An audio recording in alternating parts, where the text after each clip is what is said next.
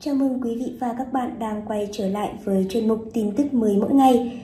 Hy vọng quý vị và các bạn sẽ có những thông tin thật bổ ích và đừng quên ấn nút like, share và đăng ký để ủng hộ cho kênh của chúng tôi nhé. Và sau đây, xin mời chúng ta cùng đến với những phần tin chi tiết. Mới đây, trên trang cá nhân, ca sĩ Mạnh Quỳnh khiến khán giả không khỏi hoang mang khi đăng tải bức ảnh một cánh tay bị băng bò, như thể vừa trải qua một chấn thương nào đó rất nghiêm trọng. Dù chưa biết bức ảnh này được chụp vào thời điểm nào, tuy nhiên dưới bài đăng, nhiều khán giả không ngừng hỏi thăm tình hình sức khỏe của Mạnh Quỳnh. Không lâu sau đó, nam ca sĩ đã gỡ bỏ tấm hình này khỏi trang cá nhân, càng khiến dân tình không khỏi hoang mang.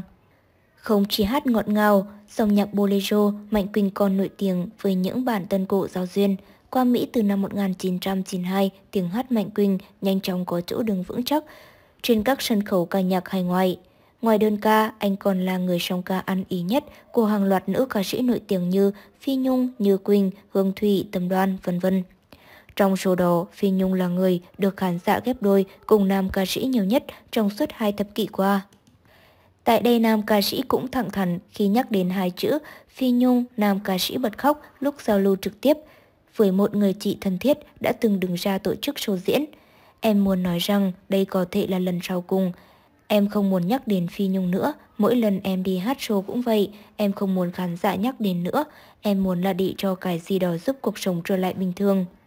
Thành thử, em muốn dằn lòng lại, cho nên hôm nay em nói thật một lần nữa, xin cảm ơn chị rất nhiều.